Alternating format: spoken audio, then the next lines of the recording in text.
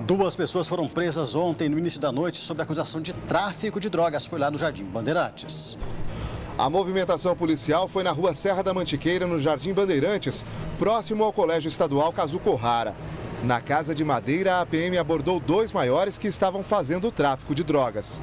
Foram presos Mauro César de Oliveira, de 40 anos, e William Batalha, de 32 anos. Com eles, várias porções de cocaína, além de 40 reais.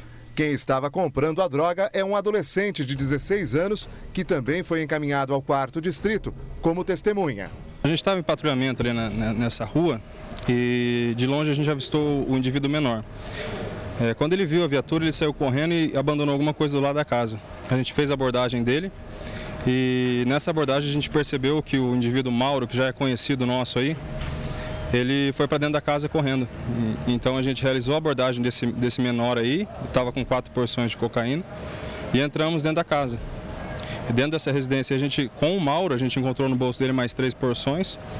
E tinha também o William, que já, já é velho conhecido nosso aí, já tem várias denúncias que ele pratica o tráfico ali naquela região, inclusive num, num, outro, num outro lugar ali.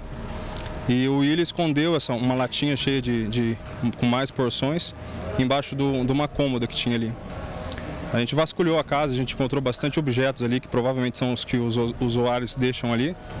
É bastante celular, a gente encontrou uma ferramenta ali também que eles não, não soube dizer de onde que é. Então a gente fez aí essa, essa prisão desses três aí, apreensão do menor. A gente vai apresentar agora para o delegado, vamos ver o que ele vai dizer aí, se, se vai enquadrar no tráfico ou não, mas a gente já tem várias denúncias que são eles que fazem o tráfico ali. Até porque para a polícia não importa a quantidade de drogas, o que importa é aquela negociação. A pessoa está com uma porção de droga que não é para o uso, ela está vendendo, independente da quantidade, já caracteriza o tráfico.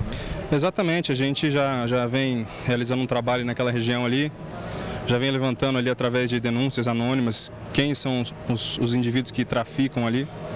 E para a gente, a gente fica feliz, em, mesmo que seja uma quantidade pequena, em tirar de circulação esses indivíduos. Porque nós sabemos que nós, com essa atitude, nós vamos dificultar o trabalho deles aí, de, eles vão ter que arrumar mais pessoas para vender. Então, só o fato de tirar de circulação esses indivíduos aí, a gente já a gente sente que o nosso trabalho está sendo realizado. A gente fica muito feliz com isso, cara. Fica muito feliz de saber que toda denúncia que chega para a polícia, a polícia vai averiguar e tem, de certa forma, aí, conseguido, em quase que 100% dos casos, retirar esses bandidos de circulação. São criminosos, né? Traficando, aterrorizando os moradores do Jardim Bandeirantes. Olha, eu recebo mensagens, inúmeras mensagens diariamente de pessoas da Zona Oeste, do Bandeirantes, reclamando que cada lugar, cada esquina que vai tem um ponto de tráfico. A polícia tem batido em cima.